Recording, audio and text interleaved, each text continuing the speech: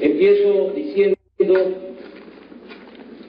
que la minoría que domina en el país decidió de tiempo atrás para mantener el régimen de corrupción que les beneficia imponer a Enrique Peña Nieto como presidente de México.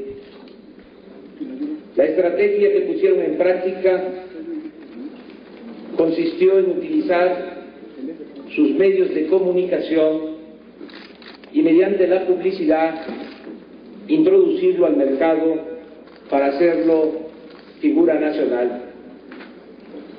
Televisa, Milenio y muchos otros se dedicaron a proyectar una imagen de Peña Nieto que no corresponde a lo que es y representa. Con esa fórmula, durante mucho tiempo, Peña Nieto mantuvo una gran popularidad, pero en la campaña las cosas empezaron a cambiar. Poco a poco la gente se fue enterando por las redes sociales y por otros medios no convencionales que se trataba de un engaño, de una farsa. El 6 de mayo se celebró el primer debate y aun cuando no se transmitió en los canales de mayor audiencia, millones de mexicanos se percataron de que Peña Nieto perdió el debate y quedó evidenciado como el candidato del grupo más corrupto de México. Posteriormente, el 11 de mayo, Peña Nieto asistió a la Universidad Iberoamericana. Los estudiantes lo encararon y su torpe y autoritaria respuesta, secundada por los políticos que lo rodean, así como la distorsión de los hechos en los medios de comunicación, en particular de Televisa, dio lugar al movimiento Yo Soy 132.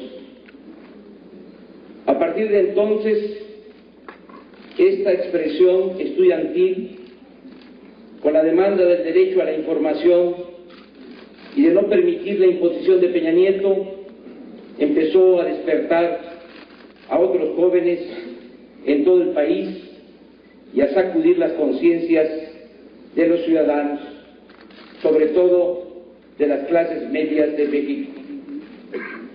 Después de este importante acontecimiento, empezó a crecer el rechazo hacia Peña Nieto y se precipitó su desplome en cuanto a las preferencias electorales. El jueves 31 de mayo, el periódico Reforma dio a conocer una encuesta en la cual la diferencia entre Enrique Peña Nieto y mi candidatura era de apenas, de apenas cuatro puntos. Días después, del 31 de mayo al 4 de junio, nuestro equipo técnico levantó otra y el resultado ya nos daba dos puntos de ventaja. Al percatarse sus patrocinadores que Peña Nieto se estaba cayendo, desesperados buscaron reforzar su estrategia mediática y consiguieron el apoyo del expresidente Vicente Fox.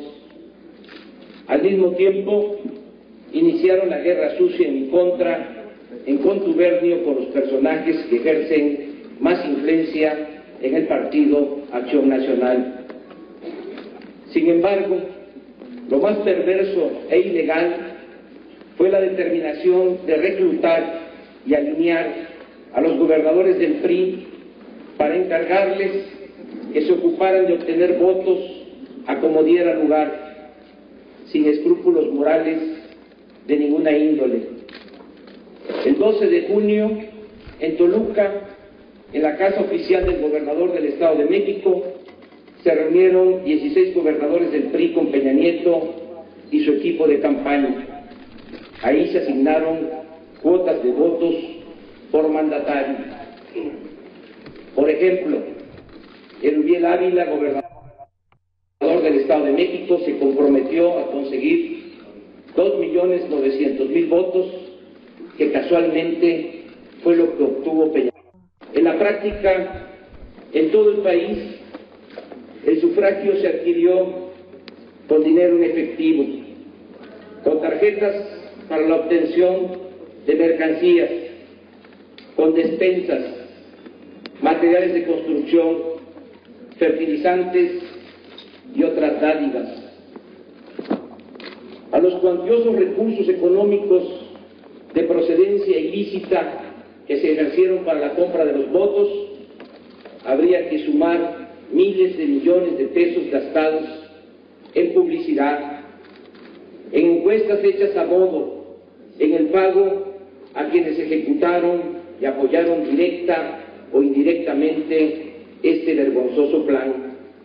Todo ello obviamente rebasa con creces el tope de gastos de campaña establecido en la ley. El operativo masivo de compra de votos se llevó a cabo antes y durante el día de la elección. Un caso emblemático es el de los monederos electrónicos de las tiendas Soriana, comercios que fueron vaciados por multitudes del Estado de México que canjearon tarjetas al día siguiente y en los días posteriores a la elección. Aunque la compra de voto se dio prácticamente en todo el país, fue más acentuada en las zonas donde viven los más pobres de México en especial en el medio rural. En estos lugares se registró el mayor nivel de participación ciudadana del país, contrario a lo sucedido en las anteriores elecciones presidenciales y superior a la media nacional registrada en los actuales comicios. Por ejemplo, en los tres distritos con más población rural de Yucatán, se registró una participación promedio del 86%. En Chiapas, la participación ciudadana con respecto al 2006 se incrementó en 118% y el PRI consiguió 506 mil votos de más. Asimismo, en las casillas no urbanas, que son el 35% del total de casillas. Peña me gana, entre comillas, con 2.801.042 votos, lo que representa el 85% de su supuesta ventaja a nivel nacional.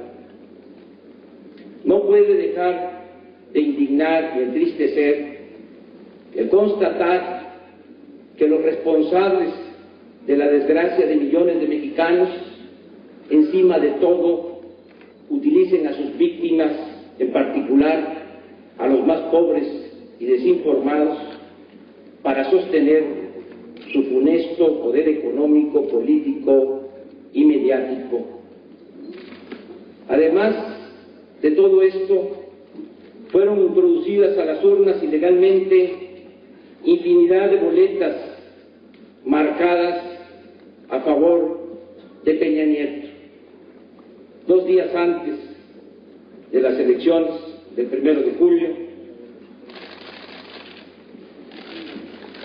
se encontraron boletas, Tabasco, pero esto se repitió en varios puntos del país.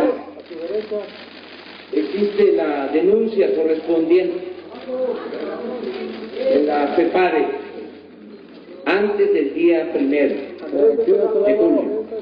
De este lado. De este lado, señor. de este lado. De este lado, por favor. Este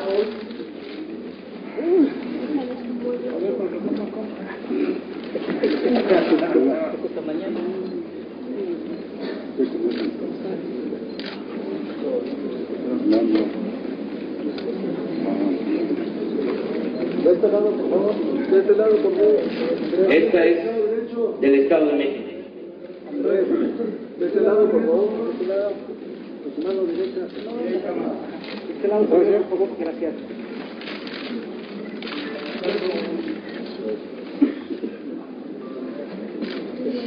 Las pruebas y testimonios que hasta ahora tenemos nos permiten sostener que se compraron 5 millones de votos aproximadamente, tan solo en el Estado de México, Veracruz y Chiapas se adquirieron alrededor de 2 millones de votos. En razón de lo anterior, y sin tomar en cuenta, sin tomar en cuenta otras violaciones flagrantes a la Constitución y a las leyes de la materia, podemos resumir que en las elecciones libres la mayoría de estos ciudadanos no hubiesen votado por Enrique Peña Nieto. Estamos ante un hecho completamente con relación a estos comicios. Baste decir que las 902 casillas especiales que se instalaron en todo el país, donde sufragaron libremente los ciudadanos, el resultado fue completamente distinto. Por Josefina Vázquez Mota, 27.8%. Por Enrique Peña Nieto, 28.1%. Por mi candidatura, 41%. Por Gabriel Cuadri, 1.6%. Por candidatos no registrados, 0.2%. Y los votos nulos, 1.2%. En este tipo de casillas, Peña Nieto solo gana en cuatro estados de las 32 entidades de la República. En suma, el sesgo que significó la compra y manipulación de millones de votos no permite dar certeza a ningún resultado ni al proceso electoral en su conjunto. En el terreno estrictamente legal se violó el artículo 41 de la Constitución que establece que las elecciones deben ser libres y auténticas.